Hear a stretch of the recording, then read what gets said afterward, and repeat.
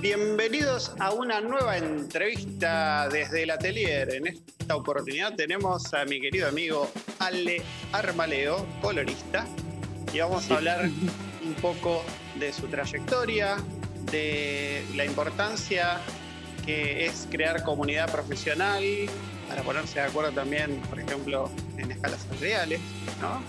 Eh, ayudarse mutuamente, aunque estemos compitiendo, a veces es bueno ser solidario con, otros trabajadores y también hablar un poco de, educación y, por qué no, de toda su trayectoria profesional como trabajador del color. Y bueno, Ale, bienvenido a este ciclo de entrevistas. Espero que estés cómodo en esta entrevista y contanos un poquito de vos cómo empezaste en el mundo del cine, por qué puerta entraste. Eh, bueno, tuve como Gracias, gracias por esta este, entrevista. La verdad que esto que estás haciendo es genial. este, aporta, aporta mucho a la idea en general que tengo de, lo que hay que ir haciendo, de hacia dónde nos queremos mover. Y me participando de esto me parece que está, que está bárbaro. Este, te cuento un poco esto que me preguntaste, ¿cómo, entro en el cine? Yo entro en el cine, eh, empecé tipo andando en el y no siendo muy bueno, entonces me dediqué a filmar cosas de skate, siendo muy chico. Y eso fue mi acceso a la imagen, digamos, como que las cámaras, la primera vez que agarré una cámara fue por filmar a mis amigos eh, andando en skate y haciendo cosas por el estilo. 15 años o menos por el estilo. Estudié en una escuela técnica. Este, y otra cosa que me hizo darme cuenta de que eh, la carrera industrial, eh, la ingeniería, no iba a ser el eje central de mi, de, mi desarrollo tuvo que ver con que en el último año de la escuela te permitían un día ir este, sin el uniforme. Y fueron de camisa, traje, y yo me asusté un montón. Dije, no, esto, yo no quiero meterme por ahí. Este, pero toda la formación técnica, toda la cuestión de la electrónica y todo eso, estoy seguro que me fue muy útil la comprensión de las cosas que estamos haciendo. Pero bueno, tuve mi primer acercamiento a las cámaras como medio con eso. Después, por los hechos desafortunados de la Argentina, mis viejos eh, se hicieron muy amigos de Ricardo de Ángeles, fotografía, que es ícono de, la industria acá. Sabes que se recorta un poquitito eh, la, conexión. Así que justo mencionaste a Ricardo de Ángeles, que es un, pilar de, de la fotografía, ¿no? Claro, bueno, él fue el que me agarró y me dijo, mira, este es un fotomómetro, este se mira por acá, este se apoya acá, me explicó las bases de la fotografía y este, formarme. Eh, voy a cerrar una puerta de acá, permiso. ¿eh? Dale, dale. Que entra ruido. Em, a partir de eso decidí formarme este, en la Universidad del Cine, hice la carrera de Iluminación y Cámara. en Buenos Aires. En Buenos Aires, sí. Este, y durante la carrera de iluminación y cámara eh, tenía la oportunidad o tuve la oportunidad de estar becado trabajando en el departamento de edición. Eso también me permitió también acercarme a la imagen y la computadora. Esto habrá sido entre el 2003 y el 2006. Eh, lo digital estaba todavía bastante en pañales.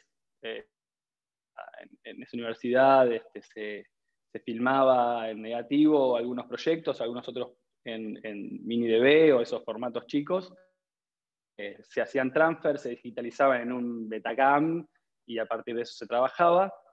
La formación dentro de ese departamento de edición, la verdad que no fue eh, muy grande en cuanto a la información que se me dio, experiencia que puede tener ahí, porque son tres años de estar sentado, o sea, a la mañana eh, cursaba y a la tarde estaba sentado en una computadora viendo imágenes. Y sin darme cuenta realmente, sin saber qué era lo que estaba haciendo, hice el color de proyectos, pero sin tener idea que lo que estaba haciendo eh, era un oficio. De casualidad, digamos. de casualidad. Sé pero toqué unas perillas y corregí color, digamos. Y pasó algo. Hubo un, un, caso puntual que me lo acuerdo mucho, que es una directora que sigue laburando un montón, que se llama Jasmine López, que hizo un corto que era un plano secuencia. Yo era el editor de ese, de ese corto y entonces se tiró un, plano, me parece. O sea, no teníamos mucho que editar, había que sacar los velos. Entonces, en las jornadas que tenía asignado ese proyecto, lo que hicimos fue ponernos a mover perillitas de las cosas para destacar, esconder hilo y algo por el estilo. Y más tarde me enteré de que eso que había hecho era el color de un proyecto. Este, después también de la mano de Ricardo de Angelis, eh, cuando termino, prácticamente como una sincronicidad grandísima, como el de cursar eh, la carrera, me dice, che, tengo un amigo que mm, se acaba de ir de un laboratorio, está trabajando con computadoras y necesita eh, un junior, alguien a quien enseñarle. Él es colorista y no sé qué. Yo dije, ok, ¿qué es un colorista? Eh, y entonces fue una entrevista y me encontré con Gonzalo Bubis y Alejandro Pérez. Gonzalo Bubis es el actual dueño de Alta Definición Argentina y es otro de los pilares de, del era, fue eh, otro de los pilares eh, del cine argentino, y es el colorista, Ale Pérez. por lo que yo entiendo, Ale Pérez, sí, este, de los que formó un montón de gente, y también en mi imaginario, y por las cosas que me fui enterando y que me contó y todo, es uno de los primeros coloristas que se salen del rol meramente técnico de hacer que la imagen responda de lo que hay enfrente de la cámara para agregar un, este, criterio estético, una, intención creativa sobre esa imagen. Eh, lo que él contaba...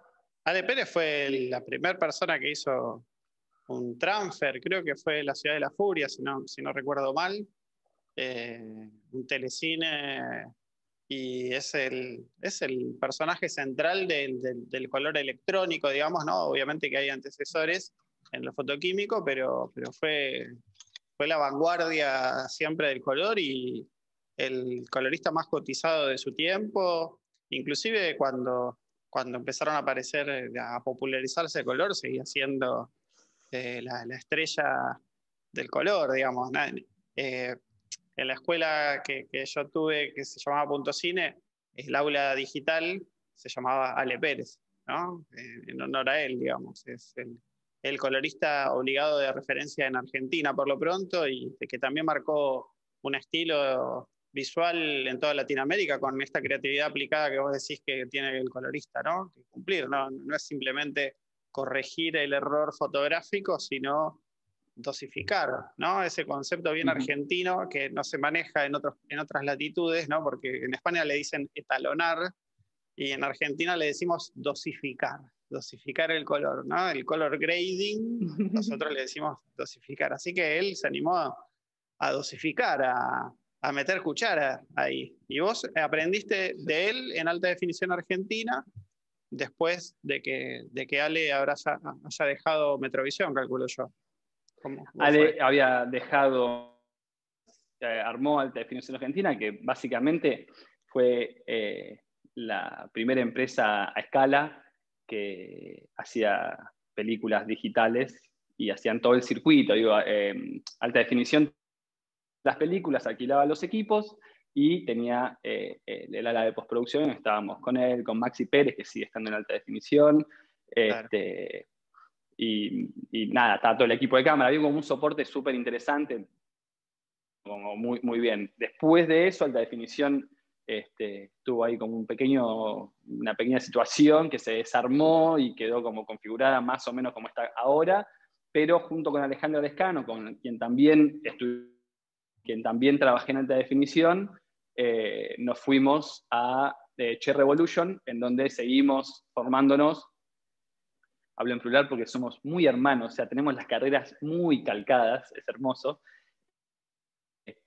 Tu alter ego femenino. Eh, Mm, sí, y se llama Alejandra, y quien nos se llama Alejandro. Es en un momento fue un quilombo. En Che Revolution, cuando nos mudamos, además, el dueño de la empresa se llamaba Alejandro Iturmendi.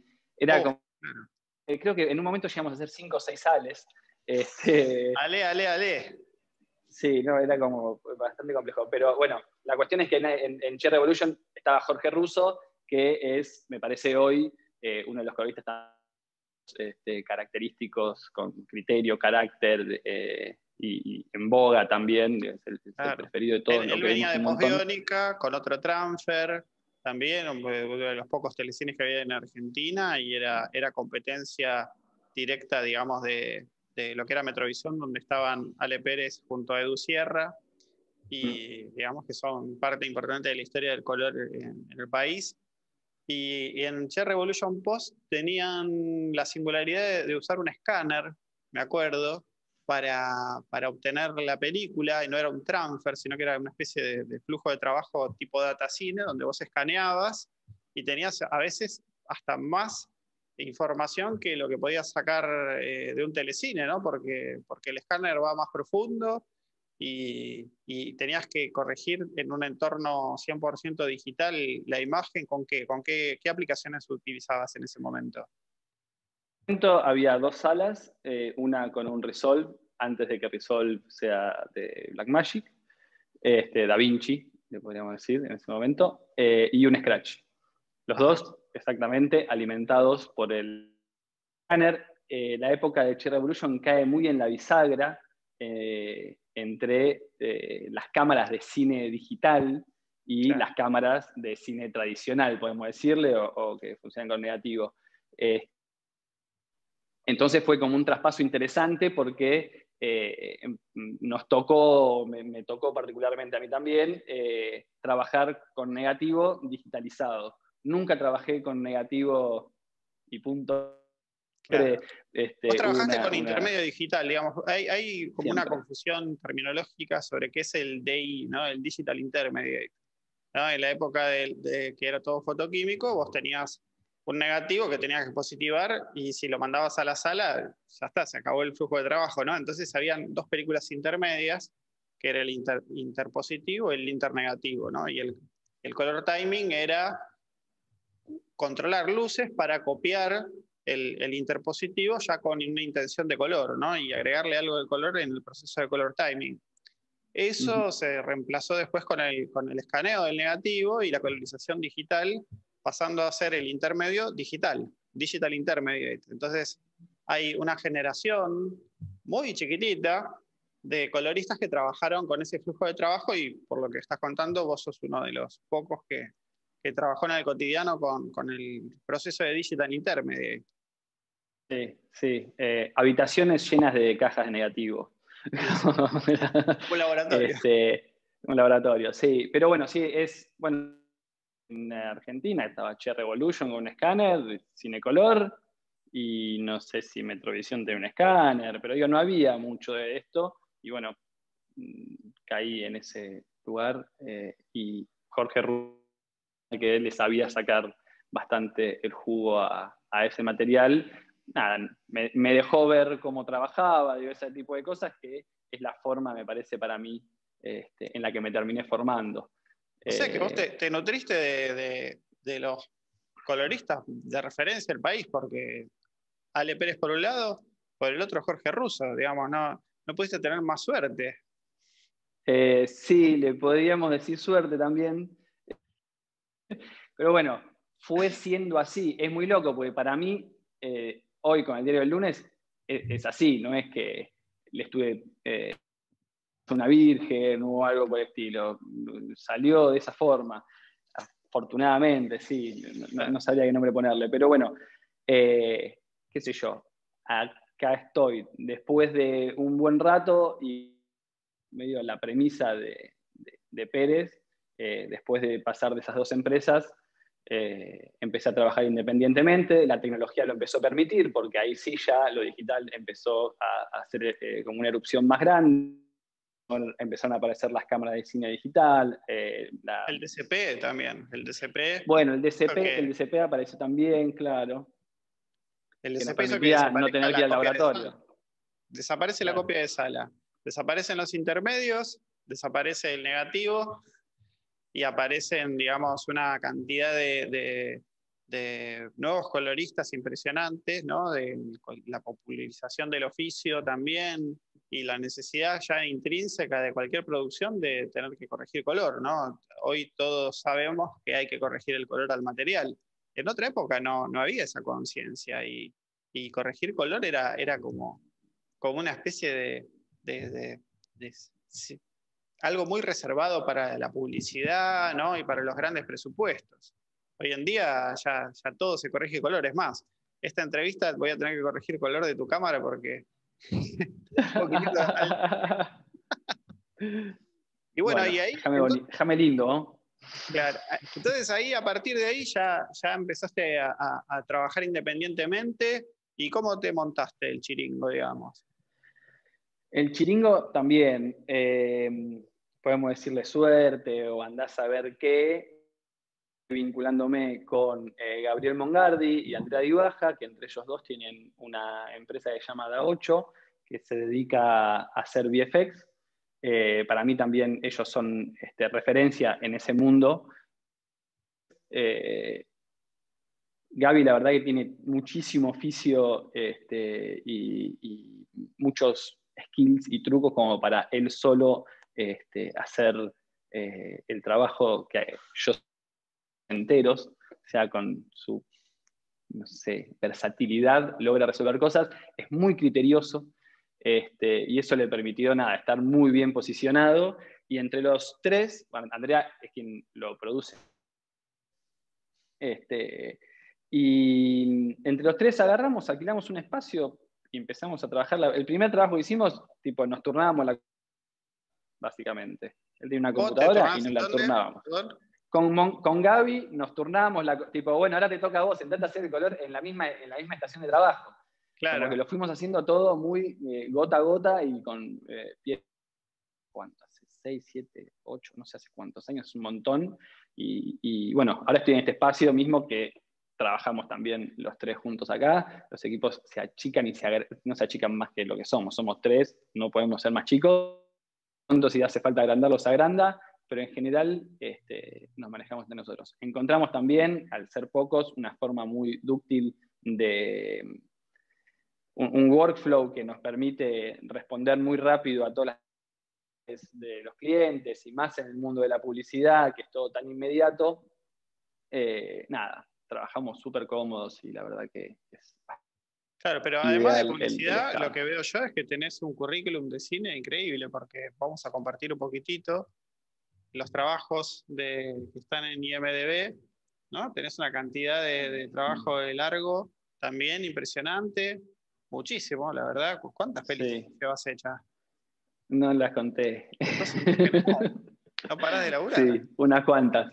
Eh, bastante, sí. Eh, sí, eh, el cine, creo que de, bueno, hace tres años y pico empecé a ir a México a trabajar eh, a modo de... En realidad me di cuenta de que me juntaba con directores en la sala a trabajar y todos venían con cuentos de los lugares a los que se fueron a filmar y las aventuras de sus paseos y cuestiones por el estilo. Eh, como, viste, diciendo, pero el colorista no viaja, el colorista no va a viajar nunca, si no hago algo al respecto yo me voy a quedar acá. Ya sé que mi oficio es bastante esclavo de las capitales porque necesitamos conexiones a internet, de estar cerca de los clientes y no para moverme. Y a partir de eso y una propuesta que apareció, me fui para México, empecé a ir para allá. Y separarme de acá y tener como momentos de este, más, este, como disociar un poco este, lo que estoy haciendo todo el tiempo, que es como que todo siempre sube. Al estar sentado acá, el trabajo es cada vez más y al poder tener esa oportunidad, me di cuenta que hago publicidad para poder tener los equipos falta para poder hacer películas. o sea que tu pasión, digamos, principal es poder contar historias eh, y esas historias necesitan de una duración mínima, ¿no? Y, la publicidad no te, está permitiendo, digamos, contar tanto. Entonces, lo usas como, como trampolín, ¿no? La publicidad siempre es un buen lugar de ensayo, de experimentación, tenés muchos recursos, tenés excelentes ópticas y excelentes fotógrafos con recursos como para, para después poner en práctica lo aprendido en publicidad en, medios que tienen mucho menos recursos como el cine. La verdad que el cine, digamos, tiene lamentablemente muchísimo menos recursos que la publicidad y, aunque yo, a mí, no me gusta la publicidad en el sentido social, ¿no? qué función cumple, siempre me ha servido a mí también para, aprender del audiovisual, ¿no? Es una paradoja que todos tenemos que vivir con ella. Sí, a, mí me, obviamente me jugó un rol fundamental. Todo lunes, porque me doy cuenta después de haberlo hecho, pero que esto, que la publicidad lo que me permitió fue trabajar con grandes directores, grandes directores de fotografía, con equipos, con eh, los, eh, artefactos técnicos, eh, punta de tecnología, todo ese tipo de cosas que me permiten, y además también hay algo muy importante en la publicidad que, destaco de ese entrenamiento, que es el contacto con esas personas, en donde le preguntabas, ¿y acá qué hicieron? ¿Y acá qué pasó? que, no sé qué, entonces te empiezas a nutrir de una información de qué son las cosas que pasan en el set y qué es lo que necesitas para llegar al, resultado que están buscando, eh, que está, es, muy productivo, porque lo que tiene la publicidad es que terminas un comercial. En una semana puedes hacer un montón de comerciales y cruzarte con un montón de gente y escuchar un montón de, experiencias distintas. Y me parece que hay una riqueza este, muy grande para después, cuando me tengo que sentar a hacer mi caja de herramientas está a tope.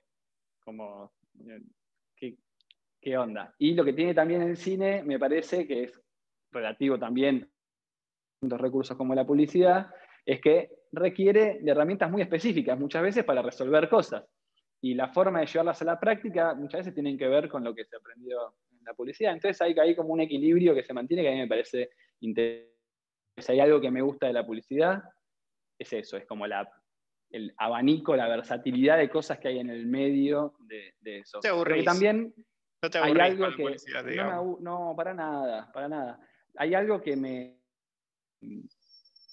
que me doy cuenta también, que es que hay un montón de proyectos eh, que no alcanzarían nunca a, tener un proceso de corrección de color este, eh, porque no era y que como la publicidad genera, me genera a mí unos recursos que me permiten tener los equipos necesarios para hacer esas películas, muchas veces o muchas de las este, cuentan como con eso, como que termina también habiendo como una desviación ahí de los recursos de la publicidad hacia el cine. En el medio me encuentro yo y encuentro mi satisfacción eso, lo que decías vos, contando una historia con una duración más larga y también se establecen vínculos con las personas con las que trabajo en las películas que son distintos a los que se establecen en publicidad. Generalmente. La verdad, que la diferencia eh, para, los que trabajamos del cine entre publicidad y, cine o series, el personal es el mismo, digamos, ¿no? El equipo técnico es el mismo, que va de, un tipo de producción a la otra, te permite conocer un montón de gente, la publicidad, y lo que cambia capaz que es guionista versus creativo, digamos, ¿no? Pero hasta los directores intercambian, ¿no? Eh, eh, entre el género de la publicidad y el género del cine. Sí, son, la verdad que me parece igual, no son la mayoría, o sea, Hay, está, hay bastante, está bastante día del agua, sí hay directores de publicidad que hacen películas, este, pero hay muchos más directores de cine que no hacen publicidad. este, entonces me, me, encuentro con eso, con que la publicidad también me permite agarrar y hacer también si, ves ahí que tengo un montón de largos, debo tener dos o tres montones de videoclips, que también son como, este, para mí, como otro, otro lugar de ensayo. Claro, en el videoclip te la jugás, me parece, ¿no? Que es el lugar donde decís, acá canto, canto falta en vido, quiero vale cuatro, todas, todas. Sí, sí. Y a veces tenés una mano muy mala en la mano. a veces cuatro, seis, cuatro. Este, sí, pero tenés que jugar igual y está bueno eso, y es el ejercicio también. Eh, y también hay algo que pasa que es con a, través del paso del tiempo te vas encontrando también con este, eh, producciones cada vez más pulidas, entonces eh, la materia prima que recibo es cada vez más interesante y el, resultado del trabajo también se crece exponencialmente, digamos, que no, no, no es independiente mi trabajo del resultado hay un montón de gente metida ahí. y bueno, eh, no, depende únicamente de, lo que yo haga ahí en el medio. No, no, cuando la foto es buena es difícil arruinarla, ¿no? Pero, pero bueno, lo puedes hacer también. También puedes arruinar una foto con el color. También la puedes quedar, sí, sí, sí, sí, sí. o por lo menos preguntándote, ¿viste? Decís, uy, esto. No, a ver, vamos de nuevo. Claro, claro. Este, capaz que no fue así, capaz que no fue así. Eh, pero bueno, eso, esto como que entre todas las este, partes de la industria en las que podría trabajar, creo que más o menos trabajo todas, digo, cine, eh, documental, eh, videoclips, eh, comerciales, como que todo le da de comer a, lo otro. Yo creo que los feedbacks que también eh, recibo de la gente con la que trabaja también son las cosas que me terminan puliendo. Creo que los feedbacks más profundos que recibí este, no están relacionados los que mejor se ven, digamos. Eh, que son los que me hacen replantearme la forma de trabajar, como mirar para otro lado, probar cosas nuevas, cosas por el estilo, generalmente tienen mucho más que ver. Alguien se compró una moto. Em, tienen mucho más que ver con el vínculo que genero con las personas con las que trabajo que el, material en sí. Mm. Interesante ahí, pues también este eh, oficio es mi herramienta para vincularme con el mundo en algún punto, ¿viste?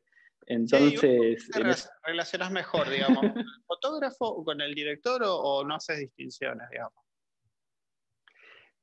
Y ahí voy a las personas. Hay, casos en los que, o sea, no es, no es el oficio de la persona, me parece. Mm. Súper bien, pero lo que no, tiene que ver con que sea el director. Eh, con, los de Géminis, por ejemplo, ya, ya te da un poco igual, ya te fijas en el, el fijo que, claro, vos de qué signo sos, querido, claro. No, la verdad, no, le apunto a eso porque no conozco nada de, ese mundo, pero sí me doy cuenta de que hay afinidades y que está bueno profundizarlas. Este, porque también a partir de ese vínculo que estableces con esa persona, que no lo digamos, digo, particularmente, eh, sí se profundiza eh, en, el trabajo y entonces a lo largo de los proyectos se siente como el resultado es cada vez más pulido, como cuando la otra persona se comunica de la misma forma. Eh, entonces, cuando la otra persona te tira una punta, vos sabés cómo recogerla y cómo hacer impactar eso en la imagen. Feedbacks estén cada vez más cercanos a donde queremos llegar. Y sí, porque se trata de narrar, ¿no? Siempre se está tratando de narrar.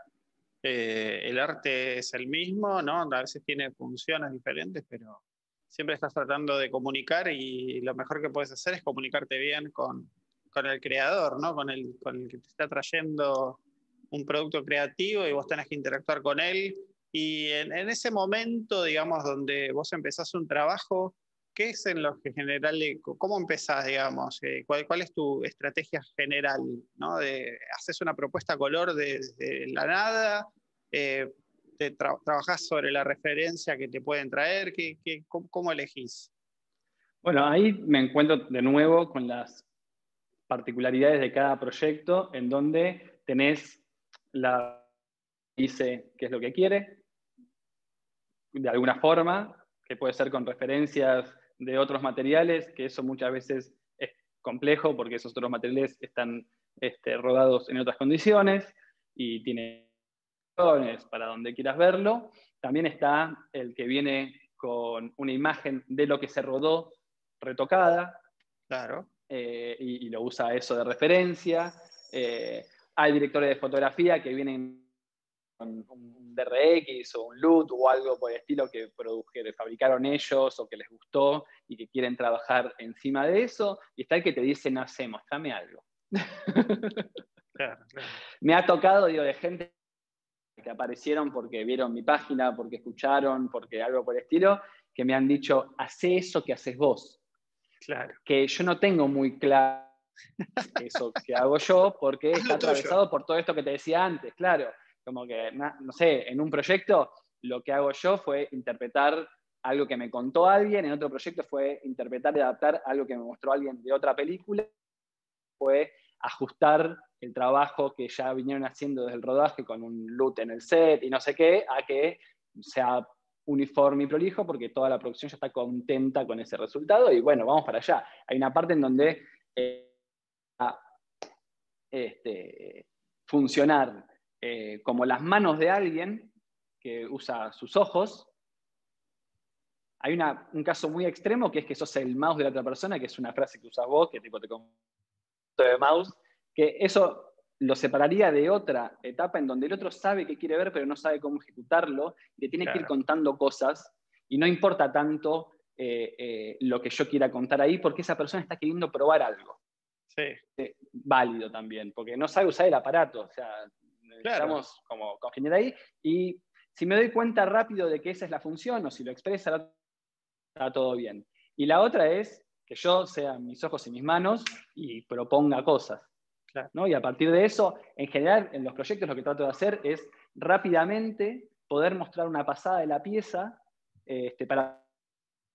Eh, durante el proceso prefiero privilegiar este, la velocidad y darle muchas pasadas al material antes que detenerme mucho tiempo sobre una toma, este, que hacerlo porque si hay que hacer un montón de ajustecitos va a haber que detenerse un montón de tiempo sobre eso, pero en las primeras pasadas tratar de hacer corridas lo más rápido que pueda, no apurándome, sino como dedicándole el tiempo que corresponde, pero dedicándome en, algo, como diciendo, bueno, esto...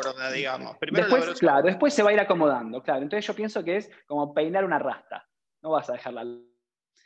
Tenés que darle un rato este, hasta que se afloje y después hasta que se caiga. O hasta que se caiga. Pueden pasar un montón de cosas, sí. ¿Y vos trabajás con asistentes, este digamos, porque todo ese trabajo preliminar que estás contando lo podría hacer un asistente? ¿Estilás trabajar con asistentes? Eh, en este momento estoy eh, trabajando en la formación de un asistente, este, Roy Bermúdez, que es alguien que viene formado ya del mundo DIT, este, también se formó en la universidad y tiene como su formación con la imagen como bastante consistente, tiene una buena carrera con, sí, a mi amigo de a eso. le mandamos un saludo. me, ayudó, me ayudó a hacer eh, las primeras emisiones del atelier para, para unas demos de mística. Ah, mitad. Sí, sí, está muy y, activo. Eso, la verdad, que me ceba. Y lo que encontré, ya he intentado formar gente para, que, para poder desparramar un poco las tareas y poder eh, pensar en otras cosas. Eh, pero es bastante complicado porque la verdad que el trabajo termina horas sentado enfrente de una computadora en una sala eh, bastante oscura.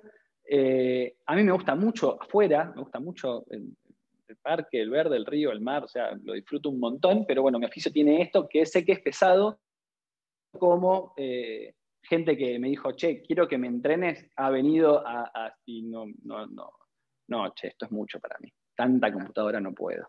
Y la verdad es que es mucha computadora. Roy tiene la curiosidad y esos factores eh, imprescindibles para, para poder estar en estas, y la verdad que estamos haciendo prácticas como para que él pueda este, hacer ese piso, que además en un futuro, diría que casi que va a ser imprescindible para la producción de series, que la misma persona haga todo el proceso, yo lo veo inviable. Eh, me parece que es algo que va a ser muy pesado por un montón de cosas, pero que además también, eh, si querés eso de que es inviable que lo haga una sola persona, también es interesante que permite un terreno fértil para que se forme más gente como asistente y posteriormente como colorista o lo que le den ganas de hacer en esas áreas y no sé qué. Pero la forma de formarse, más allá de poder agarrar y tomar cursos y estudiar y ver tutoriales y eh, leer y todo lo que sea, es sentado y con eh, cosas reales. Yo me siento en una computadora con cuatro imágenes y es como si quisiese aprender a escribir y vaya empezando con la A, después con la B, después con la C, como que no, no, necesito contar o sea, un relato, alguien que me esté tirando líneas para, entender hacia dónde tenemos necesario eso. sí, pero está bueno aprender a leer también, ¿no? Está bueno aprender a leer, claro, sí, sí hay que formarse. Eh, Ale, ¿vos qué, qué, tipo de tareas, digamos, eh, son las que podrías derivar a un asistente de color? Digamos, ¿qué es lo que haría un asistente de color? Eh, yo creo que eso empieza conformando. cada, cada, estudio tiene su forma de hacerlo y me parece que es importante que eso esté bien transmitido. Este, después, nivelando el material, que sería como en el cine tradicional hacer un transfer a una luz para que la toma bien expuesta, que la que quedó muy cálida por algún motivo que excede al rodaje vuelva a su neutralidad y cosas por el estilo. Y después también eh, traqueando los elementos que hagan falta previa conversación o particular como para, para que el asistente pueda entender qué es lo que tiene que, que trabajar puntualmente y que no traquee al pedo porque la verdad que para qué.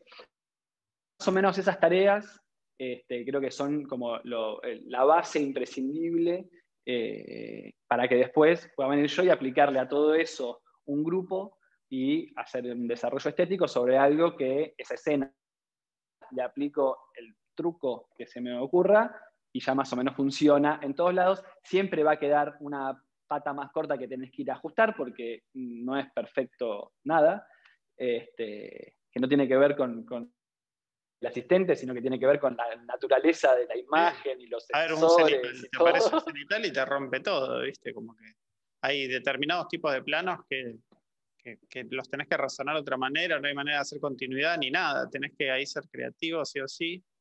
Y bueno, entonces, recapitulando, digamos, para que quede claro, un asistente podría eh, replicar el montaje ¿no? a través del conformado, después hacer una continuidad sin intención, digamos, de luz, sino simplemente hacer que todo transcurra en un mismo espacio diegético la misma puesta y que no hayan saltos entre planos. Y después todo el trabajo de rotoscopía, que implica calcar eh, figuras en movimiento para poder aislar determinadas cosas que son importantes para el, para el dosificado futuro, ¿no? que, que, tiene que ver con ya tener la máscara de la, de la ventana o de, o de, un producto de publicidad, etcétera, y, y empezar la sesión color con ese trabajo ya, ya terminado, lo, lo, cual te ahorra, te ahorra tiempo a vos como colorista y por otro lado te desgasta menos en la, la relación que tenés con el proyecto, ¿no? Porque cuando empezás un trabajo de manera fresca, estás fresco y si ya tenés problemas en el conformado, te vas desgastando, desgastando y cuando llega la hora de color, te querés ir a tu casa, tipo, bueno, basta, no tengo ni ganas de corregir con todos los problemas que tuve hasta ahora. Sí, intento, yo cuando trabajo solo, intento trabajar el otro para no estar cargado de toda la cuestión técnica. Muchas veces el conformado no toma más de 10 minutos también. Sí, también. Eh, digo, si, es algo que está testeado y funciona, no, tendría por qué fallar demasiado, pero eh, puede fallar y, pero, hay que curtirse en eso. Documental, por ejemplo. ¿Viste? Una serie de 10 episodios con un montón de material de archivo. Y agárrate. Ahí empieza. ¿no? que viene de restauración, algunas cosas y otras, y conformar eso es, complejo, ¿no? Y está bueno tener conciencia de que para entrar al mundo del color no está mal pensarse, ¿no? autopercibirse como asistente al principio y optar por eso y hacer bien esas primeras tareas para conseguir rápido trabajo y, estar cerca de un colorista que tiene más experiencia y, mirarle, mirarle la mano, ¿no? mirarle la muñeca, a ver qué, es lo que hace. En los casos reales. sí. Perdón, decime. No, y, yo sé que vos tenés también un montón de trabajo hecho en, México. Contame un poco cómo, cómo haces para, trabajar en dos países a la vez, si trabajas remoto, eh, ¿cómo, haces? Eh, lo primero que hago, obviamente, salvo eh, pandemias, es estar viajando tres, cuatro meses en un lugar y en otro. eso me parece genial. O sea, si lo pensara como un negocio, no sé si es muy buen negocio realmente, pero no lo pienso de esa forma y la verdad que me da, me y eso me dan ganas de seguir haciendo lo que hago, porque si no, como que te estancas. Eso y vincularme con mis colegas también me renueva muchísimo el área, que es algo que hago tanto acá como allá. en México también me reuní con eh, tres colegas más, con eh, Jesús, Lisa y Ana Montaño, este, y montamos un estudio. Entonces tengo una ventana abierta allá, o sea, tengo un estudio allá que me permite, en los casos que son necesarios, mandar al cliente a mi sala un asistente de aquel lado que se encarga de lo técnico que haga falta, y situación. Este, y entonces yo tengo allá una pantalla que, en la que confío, digamos, y un equipo en el que confío, y un espacio en el que confío. Esa es una de las formas de trabajar. Remotamente se puede trabajar de un montón de maneras. Me apoyo mucho en una plataforma que se llama Frame.io, que eh, además de permitirte compartir las cosas y que la gente ponga sus comentarios sobre el frame en cuestión y haga dibujitos y que la comunicación sea mucho más clara, otra cosa que permite también es que el o quien sea que está del otro lado pueda ver ese material en un montón de pantallas distintas, que generalmente es el eslabón débil de la cadena, que es cómo se va a ver acá y en donde al hacer esa práctica eh, y, ponerla en evidencia, encontramos cuáles son las diferencias y entendemos que funciona así y corroboramos que eh, la intención que tuvimos se sostiene en la plataforma. Pues si pones una pantalla al lado de la otra y las comparás palmo a palmo, tenés muchísimas posibilidades de este, disgustarte un rato o pensar que hay, algo que, hay algo que está mal, ¿viste? no hay nada mal. Distintas. Este, yo tengo que confiar en la pantalla que tengo de aquel lado, mi pantalla de aquel lado y la de acá yo sé que responden iguales porque están calibradas bajo los mismos parámetros, pero después el teléfono, la computadora, el iPad, la tele de la casa, lo que sea, se van a ver distintas y bienvenido sea porque de eso se trata.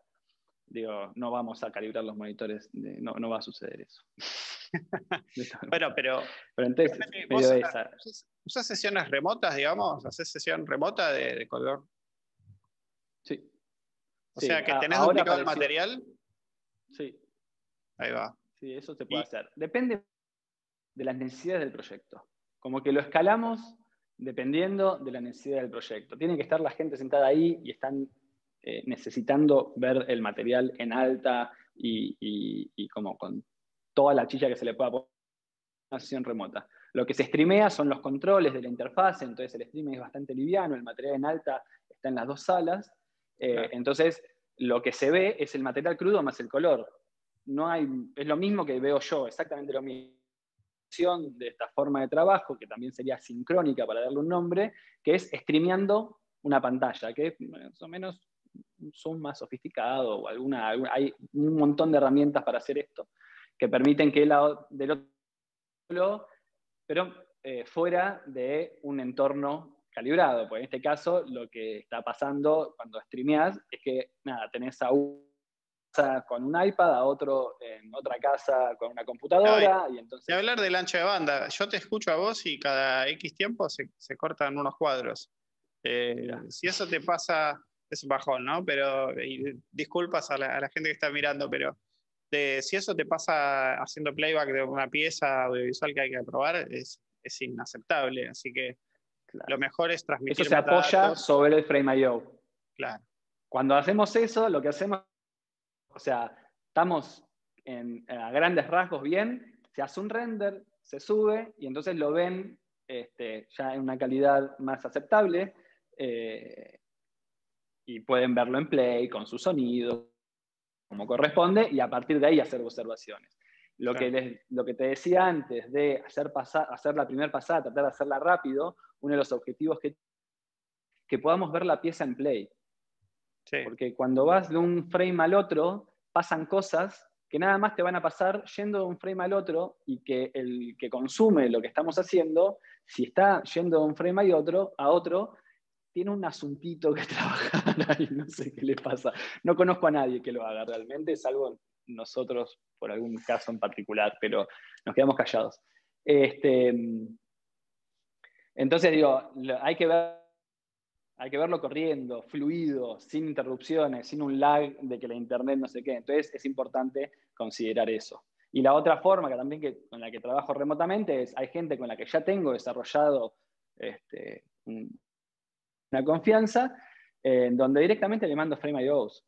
No hay algo sincrónico, es asincrónico. Yo trabajo, les mando cosas, me hacen comentarios, los ajustamos, seguimos trabajando. Entonces hace que sea más laxo la hora capaz que es un poco más de tiempo, la presión es distinta y también eso permite este, que le llegue a un montón más de gente eso. De agencia, como puede, puede distribuirse de otra forma el material y nada, son todas formas en las que termina sucediendo. Me pasa lo mismo cuando estoy allá para acá y todos estos métodos, salvo por tener una sala propia en, México, este, hago también con otros lugares. me toca trabajar para Estados Unidos, para algunos países de Europa, para algunos otros países de Latinoamérica. Como, eh, termina siendo una herramienta que se abre a cualquier cuestión y además con la este, todo eso de una forma imprescindible. O sea, hoy en día, más allá de que estemos en la misma ciudad, eh, hay que hacer sesiones. Hicimos varios trabajos de esa forma. Digo, estábamos todo el equipo en la misma ciudad, pero cada uno en su lugar. Sí, y respecto a, formación, digamos, eh, si tuvieras que aconsejar, digamos, a alguien que quiere meterse en este oficio, ¿qué le recomendarías? ¿Cómo, cómo le recomendás empezar? O ¿En qué interesarse? Eh, ¿Cuáles serían los primeros pasos que le, aconsejarías? Eh, primero tiene que prenderse un poco fuego, tiene que encontrar este, ahí como... Es muy, el color tiene algo que es muy romántico, me parece. El, titular, colorista y no sé qué, es muy romántico. Eh, lo que les contaba antes, digo, después resulta que estás sentado enfrente de una computadora un montón de horas y no haces a tiempo a responder, te retrasan otras cosas y, yo qué sé. Y además hay otro, otro problema que es que se mezcla esa, eso romántico hace que del otro lado se sienta como que no, produce un esfuerzo, digamos, como que... ah, pero si te gusta. Como que no, pesa, pero tiene, obviamente, después, yo ya me di cuenta después de la novena hora de estar sentado me empiezo a poner súper cabrón, no quiero saber más nada, pero son nueve horas, ya es un montón de tiempo. Sí, sí, sí. Este, te vas cabreando.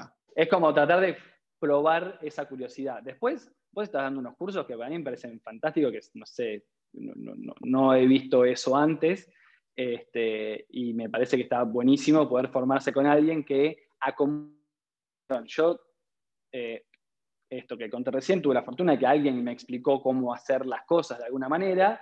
Las dos personas que mencionamos, tanto Alejandro Pérez como Jorge Russo, son personas que vienen del de, eh, laboratorio foto de una tradición eh, más lejana a las computadoras. Entonces, todo lo de las computadoras, para ponerle un hermoso nombre, me tocó aprenderlo de alguna forma solo, teniendo algún conocimiento, pero también eh, tutoriales y leyendo, equivocándome y no sé qué. Generalmente me di cuenta también con el diario del lunes de que yo me acerco a las cuestiones primero solo, pegándomelo un poco en la jeta, y después voy y veo cómo lo resuelve alguien que sí sabe.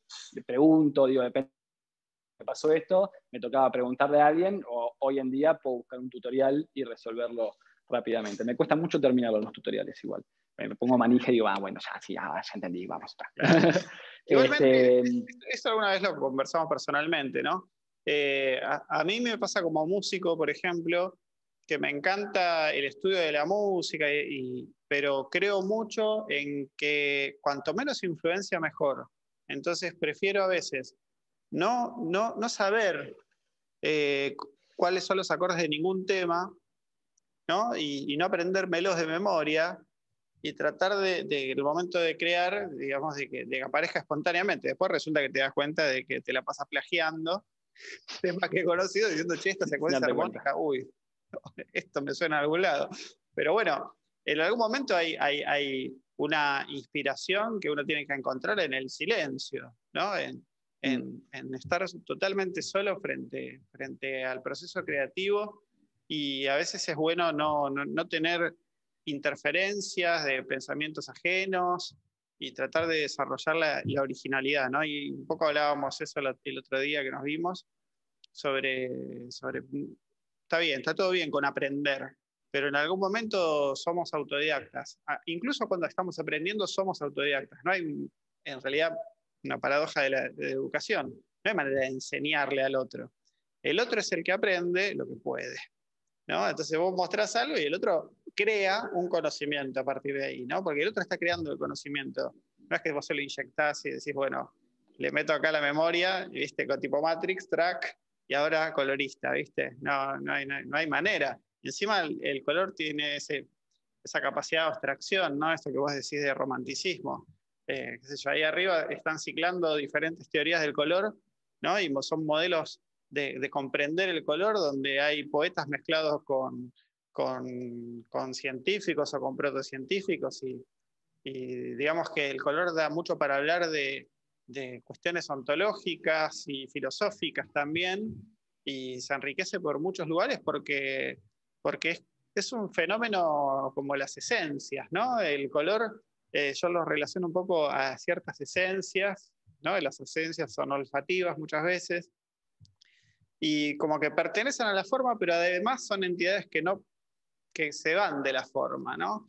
Entonces tiene esa cosa medio metafísica el color que es interesante conservarlo, no perderlo, no, no tratar de intelectualizar demasiado por momentos ¿no? el color y la, parte técnica que tiene el colorista a veces te juega en contra cuando sobre, sobre eh, intelectualizás ¿no? el, uso del color y, perdés la capacidad de, de, creatividad artística, donde tendés que dejarle un espacio de, de libertad, digamos, y de, y de obstinación. Porque te digo que cuando cuando uno empieza a creerse autor de algo, está obstinado, ¿no? Tiene que obstinarse, tiene que decir, bueno, ser cabeza dura y decir, esta es la creatividad. Dentro, dentro es esto y no aquello. ¿Por qué es esto? Bueno, esto, no sé. Porque se me cantó. Porque todo el tema puede, Puede haber una, relación de cosas. Yo también con el diario del lunes, como saco todas mis conclusiones, este, el diario del lunes cuenta de que... está lleno de, novedades, te digo pasame el diario del lunes. no, bueno, tenés que, tenés que, bueno, digo, de las cosas que me fueron pasando me di cuenta de esta cosa, ¿viste? por ejemplo, que volví de México diciendo, ah, yo hago publicidad para hacer las películas de mis amigos. O sea, entonces puedo agarrar y darle un lugar a la, publicidad eh, y, no, no, ni enojarme, ni correrla del lugar, ni nada, sino al revés, abrazarle sirve para poder trabajar en otras cosas y desarrollar otras ideas y no sé qué. Y otra cosa que, otro pensamiento, otra idea que me vino a la cabeza es que la característica que tiene lo que yo hago, que no la podría definir, eh, a lo que hago cuando no hago color, a lo que, hago en, los momentos de ocio. Y me parece que ahí es muy importante, porque también eh, tiene tanto de técnico esto, pero tanto, pero tanto, tanto de técnico, podría seguir diciendo tantos un ratito más. Eh, puedes llegar a, obturar tantísimo más en eso que no te deja tiempo para el ocio. Acá hay un buen ejemplo.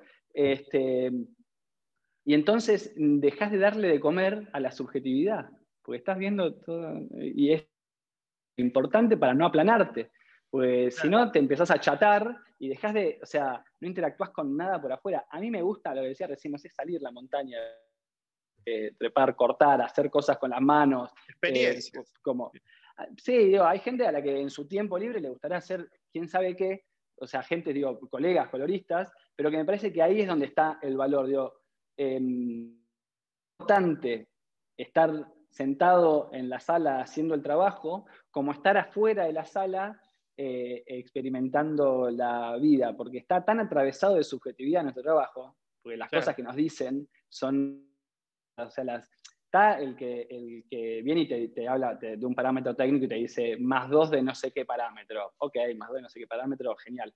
Pero también está el que te dice, siento la frescura del atardecer del Sahara. ¿Entendés? Y si vos no tenés en la cabeza una idea de frescura, no tenés en la cabeza, yo no estuve en un pero digo, esto es algo que me dijeron y no se me borró más porque me pareció genial. Es como, claro, sigamos así. Este, tenés que tener elementos para poder interpretar lo que te dice el otro y después vos estás en valorcitos que sí son precisos, exactos, pero no tenés por qué saber cuáles son esos valores. Sí, sí. No, no, hay una cosa que lo resuelva en sí, que lo traduzca por ahora y por No, el tema es la traducción. no, hay, traducciones directas, me parece a mí. Para mí, a mí sí me gusta saber, digamos, cómo funciona la herramienta y estar en la intimidad, digamos, de, del instrumento que toco, ¿no? Por ejemplo. Pero, eh, pero después de eso hay, hay un tema de, transducción de lo, emocional hacia, hacia un parámetro que se maneja con un numerito y, y ahí sonaste, ¿no? Porque esto, esto, el ejemplo que yo doy del mouse. Si viene un director y te dice, o director de foto, o lo que sea, eh, bajale un poquito el gama, me ha pasado a mí eso, eh, ponerle un poquito de magenta en, en lift, te, transforma, te va creciendo dos botones en la espalda y te transformas en un mouse del, del tipo, ¿no? En cambio, si viene y te dice, le falta un poco de angustia, y si vos buscas la perilla angustia ah, eh, en, la mesa de color, te volvés loco y decís, este tipo no entiende nada, no hay una perilla para subirle angustia, pero ahí te, perdiste la oportunidad de ser creativo. Decir, bueno, ¿cómo transmitir? Es una combinación, la angustia, es, la angustia está es una perilla que está escondida entre todas las perillas terminada. Juega, la escondida. Tenés que encontrarla, fíjate dónde está. Juega lugar, en cada proyecto está en lugares distintos. es una combinación. Es lindo que la interfase no tiene muchas letritas, ¿viste? Es como que medio, ciega. Eh, eh, tiene como eso que, también es bonito. Yo creo que igualmente no me dedicaría a esto si no fuese por la interfase. Si, si el trabajo de colorista fuese con una computadora, con un mouse y un teclado, radicalmente. la interacción con el cuerpo en algo me parece fundamental. Sí, sería, sería otra, haría otra cosa, no sé qué. Pero bueno, yo empecé, cuando, cuando De Angelis me dice, tengo un amigo que es colorista, yo vi ahí la posibilidad de aprender de laboratorio digital, tanto como De Angelis había, me había demostrado saber de laboratorio fotoquímico, que cuando en el 2000 me empezó a hablar de procesos de revelado, de temperatura, de tiempo, químicos y no sé qué, yo dije, esto no va a entrar en mi cabeza jamás. O sea, no. Y además, ya en el 2000 sabías que no iba a ir para ese lado. No había con qué, pero sabía. Entonces yo vi la posibilidad de aprender de la, con Alejandro Pérez como un paso previo a ser director de fotografía, que era una fantasía que en algún lado de mi cabeza estaba, y que, bueno, con el paso del tiempo dejó de estar. Ahora salgo a hacer cosas a, a, a set, pero muy puntualmente eh, con gente muy cercana y para hacer para no, para no romper ese espacio, digamos, como me divierte mucho, me gusta un montón. Spike Lee, Ale. Estabas en el camino de Spike Lee y mira, una locura. Sí, escúchame, para ir, para ir redondeando un poquitito eh, la charla, eh, a mí me, gusta mucho el trabajo que haces vos con los profesionales en el sentido de que tomen conciencia de que esto es una comunidad de trabajo, ¿no? Y que, hay que ponerse de acuerdo en, determinados estándares laborales para, ayudar a que esto se transforme también en una industria, ¿no? muchas veces yo me río cuando me dicen la industria del cine porque la considero prácticamente una toldería, ¿no? Una especie de mercado de tiendas de campaña donde es un caos todo y no está estandarizado nada. Entonces, a medida de que aparecen las plataformas, que sí trabajan con modos industriales y con protocolos, nosotros tenemos que empezar a, organizarnos como latinoamericanos para, para sistematizar determinados procedimientos, etc.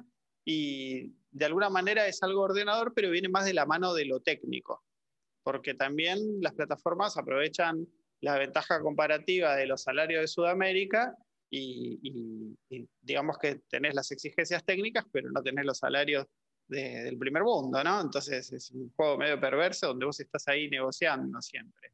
Y yo sé que vos hablas mucho con la gente, con los colegas, con la gente que a veces competís por, por, un proyecto o, o, o, que sos la opción, no sé si competís, pero sos la opción de ponerse de acuerdo, ¿no? De cuánto hay que ganar, eh, cuánto, no bajarse eh, los pantalones a la primera de cambio, ¿viste? Y, deteriorar un mercado que, ya es difícil de por sí.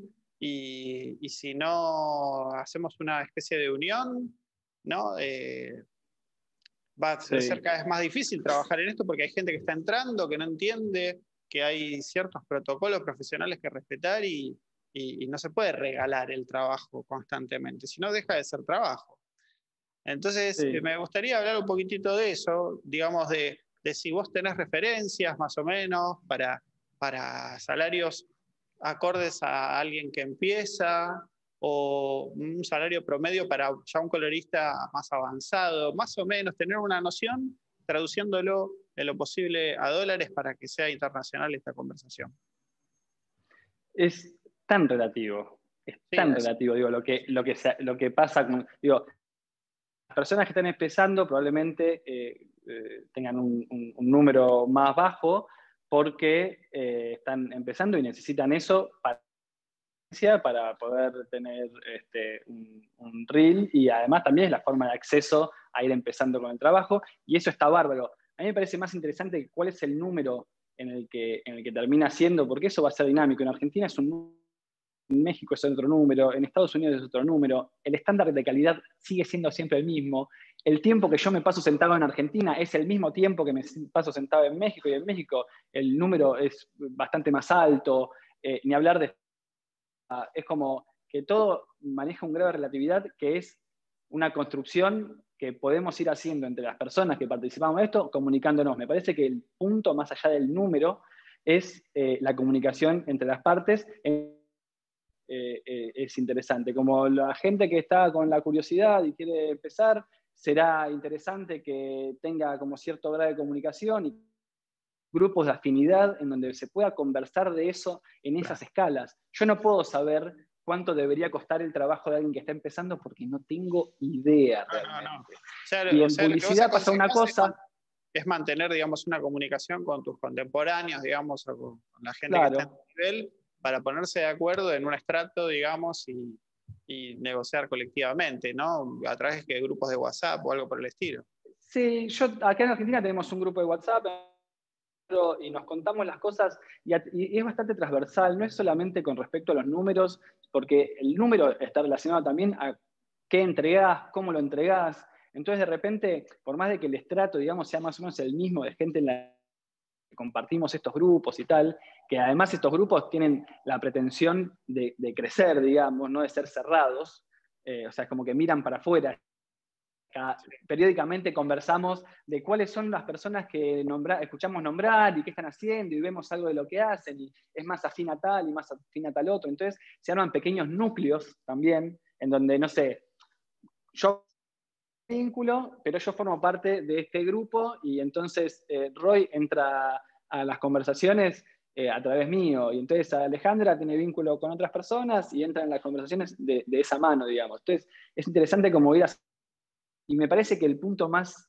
interesante es dar vuelta un poco a la lógica de la competencia, que es lo que para mí, en mi criterio, deteriora un montón este, los vínculos y no los hacen crecer. Hoy en día la información, hoy, en día pensar en que la información es un tabú es bastante ridículo. Existe ese pensamiento porque está todo, está todo disponible. El orden de la información, ahí ya sí tiene un carácter y un valor que me parece que es lo, que tiene muy interesante lo que estás haciendo vos, que es y llenar los espacios vacíos que mm, me pasa a mí, que viendo tutoriales, informándome y no sé qué, tengo una... que nunca escuché en un relato continuo, hasta que me puse a seguir tus clases y ver qué es lo que estás haciendo y no sé qué, entonces escucho un relato continuo que tiene un desarrollo, un desenlace, como que se suceden cosas tenerlo en cuenta para después saber, digo, no, es muy difícil, vos manejas un grado de tecnicidad muchas veces que no puede quedar en mi cabeza, pero sé que existe y eso me alcanza para después ir a buscarlo, para después investigar sobre esa cuestión. Me parece que es un detonante, ¿no? El docente busca detonar en el otro y, a partir de ahí es tu trabajo, eh, tomar una parte, otra dejarla, y, pero siempre vas a estar adelante de la pantalla del medio, ¿no? Viste que tenés las dos pantallas de la interfaz y la del medio. Y la del medio es la que vale. ¿no? La cancha, en la cancha se ven los pingos. Así que digamos que hay una relación que vos tenés ahí con, con esa realidad visible, que vos decís que hay que nutrirla con experiencias fuera de la pantalla, digamos, eh, no estar siempre intermediado por esa pantalla que, cada vez eh, reemplaza más esa realidad y que, tenemos que, vivir con todos los sentidos, no solamente con el sentido de la vista. y me parece que me quedo con eso, para ir cerrando, digamos, la, experiencia personal es irreemplazable, la educación es simplemente eh, un motivador, Y, bueno, y, yo, y la parte técnica también tiene que estar en simetría con lo artístico, esto ya lo vengo hablando con hasta incluso gente que sabe muchísimo de técnica, desarrolladores de software, que hablan de la importancia de, no sé, de, haber eh, estudiado Bellas Artes, ni más ni menos, y, eso nunca hay que perderlo de vista. También existen teorías de, las artes y está bueno también eh, meterse en ese mundo, desacralizar el arte, pensarlo como un trabajo más y, bueno, y que lo técnico no esté divorciado de lo artístico, ¿no? sino que es, parte de, un todo que, bueno, que me parece que hay que buscar como un balance, y, me interesa también mucho, como conclusión también, lo que, lo que vos hablás de, del vínculo humano, ¿no? del uno a uno con, la, con, el artista con el que estás trabajando, ponderar eso, hacer, establecer una relación única con cada uno, no hay, no hay experiencias y hay vínculos que se repitan, ¿no? Entonces cada producción es diferente, cada persona es diferente y vos te tenés que acomodar a esa interacción humana, ¿no? Sí, está, eh, bueno, y eso parece con, no solamente con el artista que tenés al lado, sino con tus colegas. Digo, todo está, o sea, para mí todos son todo, todo está dentro de un mismo universo, en donde también cotejar como la experiencia es individual que uno tiene por la sala, también la puede compartir en ciertos aspectos con, los colegas que están en eso, eh, genera también una red y me parece que ahí es donde hay algo interesante, como en donde de pronto también invito a que observen quiénes tienen, traten de comunicarse y hablar, porque en general lo que en mi experiencia cuando me acerqué a desconocidos, coloristas que admiro, la mejor de todas, o sea, es hermoso, es como que está todo bien. Y mismo digo, eh, conmigo particularmente, por mí, este, estoy dispuesto y abierto a recibir este, preguntas, consultas y cosas por el estilo, que después irán derivando en los lugares en donde tengan que ir cayendo y, que mi experiencia de alguna forma este, sea útil para alguien que todavía no la pudo desarrollar. Ale, querido, lo vamos a usar. Te voy a convocar en las clases que vamos a estar armando en el atelier y invitarte a que compartas tu locura y tu pasión y tus rayes sobre el color y verte amasar ahí el color en, en, una mesa de color grading. ¿eh? Así miran todos cómo se hace el pan del color. Eh, así que bueno, te agradezco muchísimo todo el tiempo que te tomaste para esta entrevista. Eh, esperemos que, que, esta no sea la última vez que te veamos acá online desde el atelier. Y bueno, gracias, gracias por todo este tiempo. Ya nos veremos pronto intercambiando figuritas, como siempre. Y les mando un saludo a todos los que están mirando en esta nueva emisión de las entrevistas de Igual que en el atelier. Chao. Chao. Gracias, Eddie. Vamos, por favor.